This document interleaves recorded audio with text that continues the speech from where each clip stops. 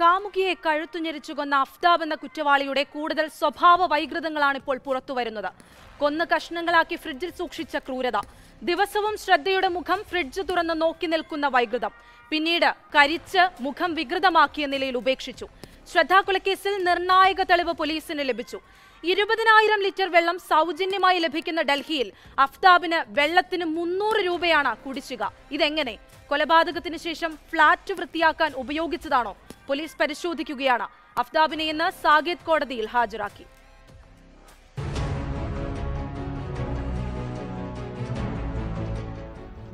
അഫ്താബ് താമസിച്ച ഫ്ളാറ്റിലെ കുടിശ്ശികയുള്ള വെള്ളത്തിന്റെ ബില്ല് കേസിൽ വഴിത്തിരിവാകുന്നു. ശ്രദ്ധയെ കൊലപ്പെടുത്തിയ ശേഷം ഫ്ളാറ്റും മറ്റും വൃത്തിയാക്കാൻ ഒരുപാട് വെള്ളം അഫ്താബ് ഉപയോഗിച്ചെന്ന് തെളിവാണിതെന്ന് ഡൽഹി പോലീസ് ചൂണ്ടിക്കാട്ടുന്നു.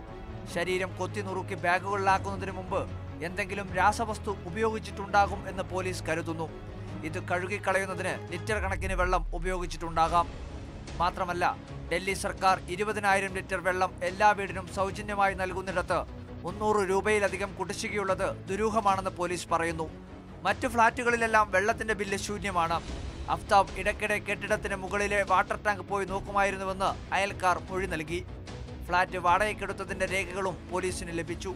എല്ലാ മാസവും എട്ടിനും പത്തിനും ഇടയ്ക്ക് ഒൻപതിനായിരം രൂപ അഫ്താബ് ഉടമസ്ഥന് നൽകുമായിരുന്നു. ഫ്ളാറ്റ് എടുത്തു നൽകിയ ബ്രോക്കറെയും പോലീസ് ചോദ്യം ചെയ്തു. നാർക്കോ പരിശോധനയിൽ കൂടുതൽ തെളിവുകൾ ലഭിക്കുമെന്ന് ശ്രദ്ധയുടെ അച്ഛൻ വികാസ് വൽക്കർ കരുതുന്നു. കഴിഞ്ഞ ആറുമാസത്തിനിടെ തെളിവുകളെല്ലാം വിദഗ്ധമായി അഫ്താബ് ഇല്ലാതാക്കിയിട്ടുണ്ട്. വ്യത്യസ്ത സിം കാർഡുകൾ ഉപയോഗിച്ച് നിരവധി പെൺകുട്ടികളുമായി സംസാരിക്കാറുണ്ടായിരുന്നുവെന്നും പോലീസ് അറിയിച്ചു. മാതൃഭൂമി ന്യൂസ് ഡൽഹി.